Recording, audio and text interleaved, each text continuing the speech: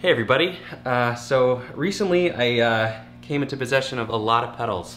I did this crazy video with Sweetwater to make the biggest pedal board in the world. So here's the board from that shoot. This guy, it was board number six out of 34.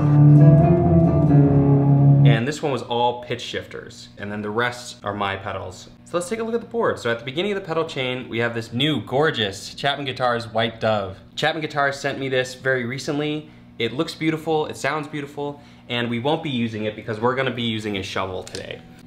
Just plug straight into the amp. I know I can make music with that, um, but I wanna try with this and have it be all about the pedals today. The ultimate goal today is I want to see if I can create a half hour long performance with just the shovel and pedals and have it be enjoyable and interesting throughout. Well, let's, let's see about that. Get this guitar out of here. So we have the shovel. It also needs a battery because there's active pickups on here and there's no battery compartment. So you kind of just have to, oh geez. There we go. I love that it has a tone knob as well and volume. I currently have a pretty thick string on there because we thought it'd be fun for the largest pedal board shoot. Do you know, do that whole thing? falling off here pretty easily. I mean, while we're using pedals, I might as well prop it up with another pedal. yeah, first thing we're using is, is a one string shovel that was made by my friend Bob Clagett, who's another YouTube creator who makes a lot of awesome stuff, uh, sometimes including shovels that play music. We had the thick string on there. I think for this, I don't want that, so I'm gonna restring this shovel real quick. Let's see, I'll go with A. We're gonna be using a lot of um, lower octaves. And I know at A, like a guitar's A, you can bring that down two octaves and it's still, you know, usable. You gotta be careful with this one because it is pretty rusty. That's what the duct tape is for. it's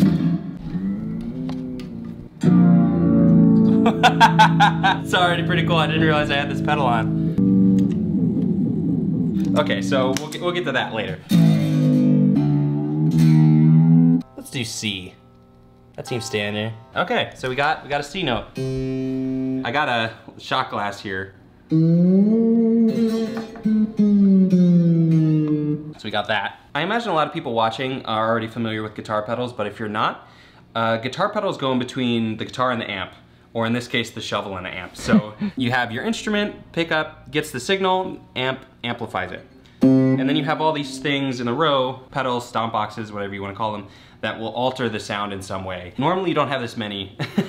like these are distortions, so like, that's pretty common. So we're just chaining a bunch of them in a row. And there's a whole world of guitar pedals out there. As a guitar player, if you buy one pedal, it's kind of a commitment because then pretty soon you're buying one like every few months and next thing you know you have this like gigantic library of pedals. They're like potato chips, like you can't just have one. Yeah, let's go through the chain. So first we have our shovel, playing a nice C note there. We have a tuner, just for ease of use really. I don't think I'll be using that musically, though Though it would be nice to, you know what? It would be really nice to get like a major chord on this. Let's figure out where the octave is. About there, just putting a little. Then the E would be the fourth. Let's see, for and then the seventh. Right there's a G. Another E, another G, about there. So these are about the notes that I want if I'm gonna build a major chord. Because I think I'm gonna be able to build out notes on here using the next thing in the chain. Starts with the tuner, goes through here, into these, underneath, into these, out, and then into these last ones. The looper pedal, this one is going to be really critical to having a full half hour so that I'm not strumming and I can have two hands on just the pedal board. So like if I hit a note here and then get the looper going, now we just have it in loop. Also, this is just a on-off switch that looks like a you know, an old, what's that called, Jake? Telegraph machine. Telegraph, yeah, telegraph machine, because we did that video with it. And it just has two settings, so the next thing in the chain is just telegraph, and you can have it so that pressing it turns it on, or it turns it off. I'll probably use the off just so that I can, you know, talk through it. Let's see if I can build out a, a chord.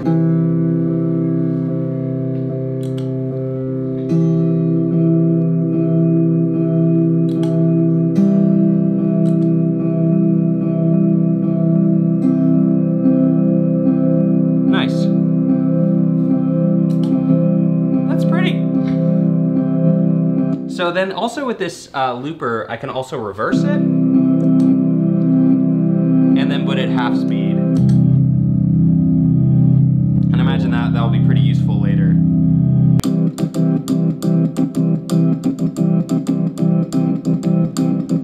Is already sounding pretty good. this one is a 12 string effect. Like a 12 string guitar, you play it just like a regular six, but every string has an octave above string that you play at the same time. So you're always playing two strings at once. This will also give me an octave up. This one is really useful for like if you play in a lot of different tunings. Drops you down one step, two step, three step. So like if you want to down a half step or down a step and so on and so on. Then it also has an octave and then octave and dry. And what dry means, you'll see that on a lot of these pedals. Dry, dry, you know, dry signal. Dry just means the signal before the pedal does anything to it. Yeah, so the drop's pretty cool. Another thing I think, so we built out, in here I still have that Hey, that C major going. Something that, that would be hard in this is, is building out chords. But I know if we have a major chord, bring it up seven half steps or five half steps, that can, that can really work well. And that's a chord progression I use a lot. So, so using the drop pedal,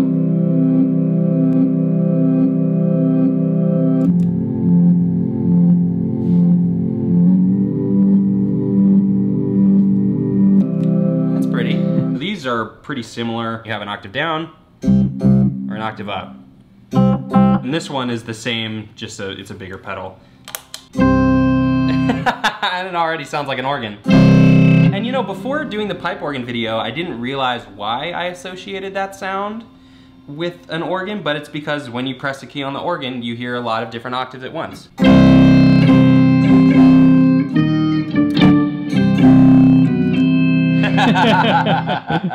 this one is the same pedal, but it also has two more octaves than these do, and it has some effects built into it.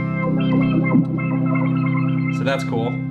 This is, again, the same, similar to this pitch shifter, but it has like a whammy effect that goes up to it. You can change the speed that it goes up. It's cool. This one adds feedback. So I think this is gonna be really useful in that if I have a note, I can add more uh, given what type of feedback I use. So that's cool. I love it. Yeah. And then this one is just the same as these, just gives you more octaves. This one splits it into two signals, also has some other stuff to it. So I bet that will be really useful if I get a loop of just one note going. Also it has this You can press into it for different stuff. So this one is a bunch of different effects on delay, flange. and then at the end I have delay. These two are different types of distortion, and this is from JHS. This is the Angry Rob. They have a pedal called the Angry Charlie. They just printed me on it. and uh, so this one's, that one's the Angry Rob. Thanks to JHS for that. These are just uh, like giving me two different flavors of distortion. And right at the end, we have a DI box, and this isn't changing the signal at all. It's just splitting it to the amp so that I can hear it and then splitting it into the computer. In the computer, in post, I'm gonna add reverb there so that I can have stereo reverb. So this is all a mono signal, just one signal, and then stereo, I can have a left and right. Just for it to sound a little bit bigger, I would like the reverb to be in stereo. So I'm just gonna do the reverb in post. And then the amp is for monitoring, and that's and that's, that's it. I think I'm gonna build out another chord. Basically, I just need to fill a half hour. It can't be the same chord for a half hour. So I think if I start with that, I could probably get a lot of use out of that using the different pedals. And then I could probably detune this to get a different note or use the drop pedal to detune it to change key at some point because if we're gonna be in the same key for a half hour, it's probably gonna get a bit boring. So I think I want single note, a chord to use, and then something else. All right, so I'm gonna build out a chord, just a C. So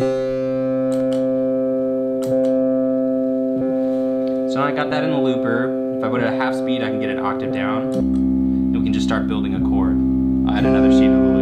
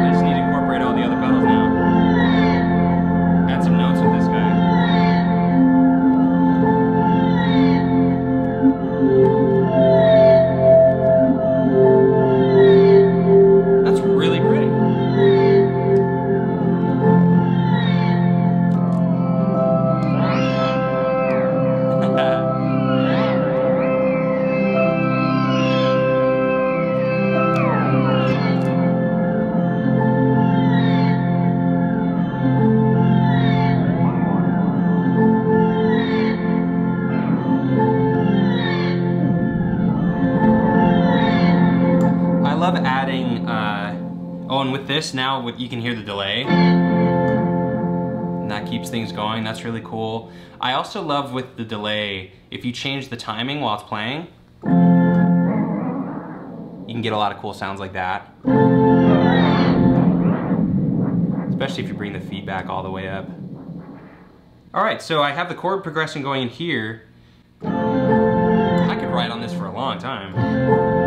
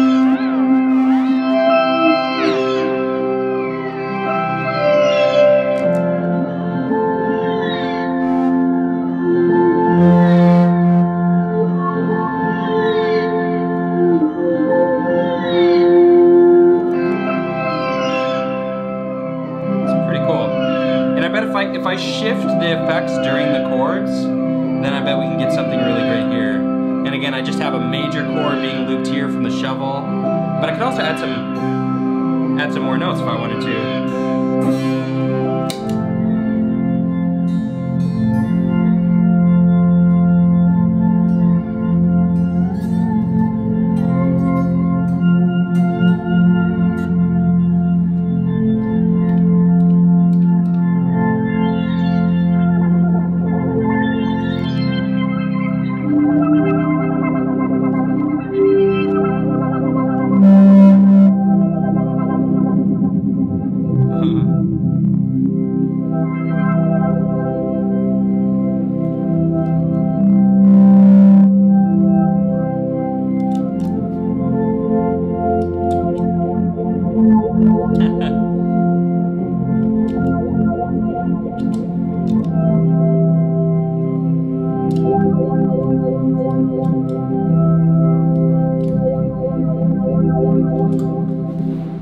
Already sounding pretty good. I am really liking this. It just has a real atmosphere to it. Let's see if the distortion pedals work here. I like it. Yeah, I do too. Then I have the Angry Rob. All right. And whatever that is is nice too.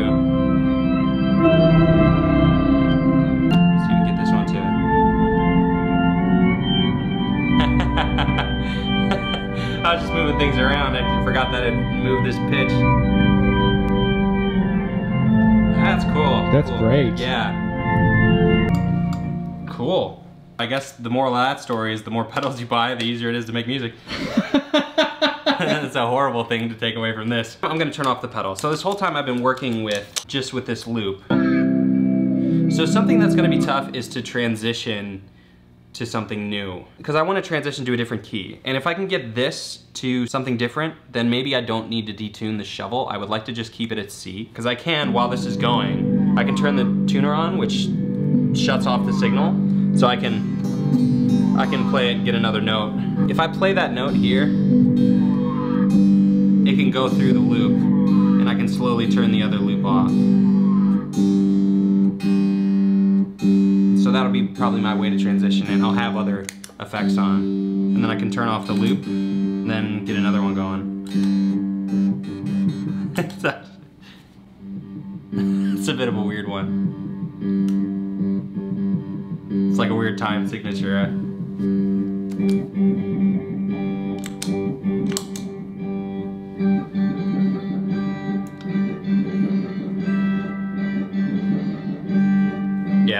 Is, isn't quite as good. Because if I just have a single note, so that'll, that'll be good. Yeah, that's really nice. Maybe in that case, if I have a note going, like, and I'll put that at half speed, so it's an octave down. So I have that constant note going, and then I can just perform here. That's kind of hard to hit them. Maybe if I...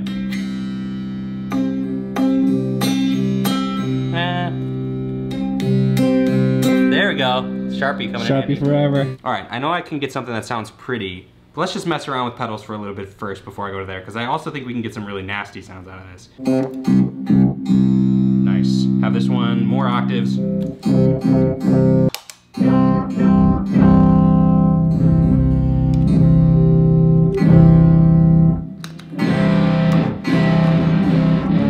Ooh, I can use this one.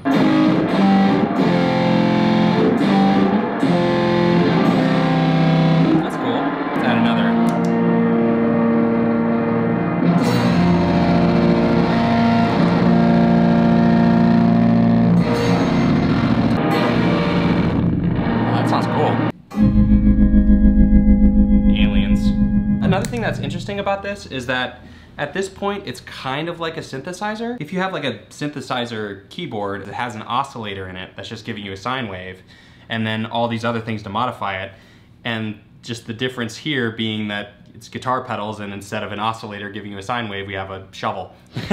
and of course, I think the internet would be mad at me if I didn't turn all of them on. So if I just turn all of them on in the settings that I have, Well, here's what it sounds like with all of them on without playing anything. And it actually sounds kind of nice. I like it. Yeah, any, any signal, it's not going to be perfectly silent when it's off.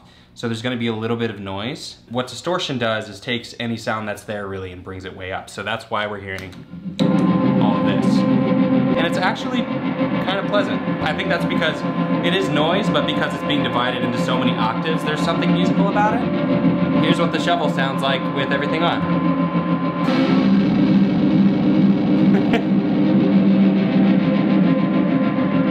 I think it's mainly the distortion pedals here.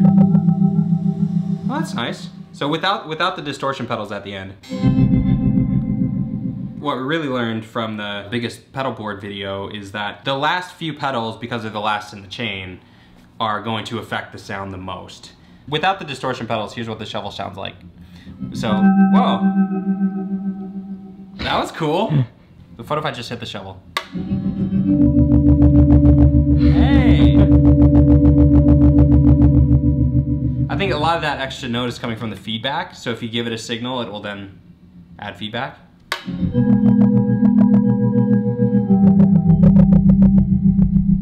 That's cool. But just straightforward, here's what this shovel sounds without the distortion with everything on.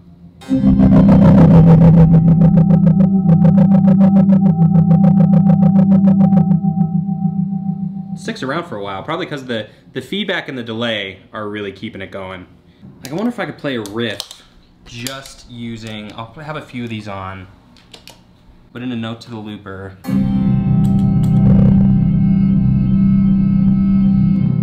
Oh, here we go. Yeah, so here's just the shovel.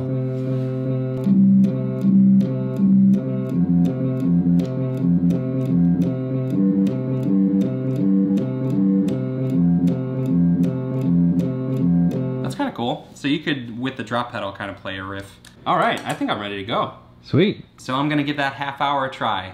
If you'd like to check that out here, maybe put that on in the background, and hopefully if I do well, it'll be an enjoyable half hour. Yeah, thanks for watching.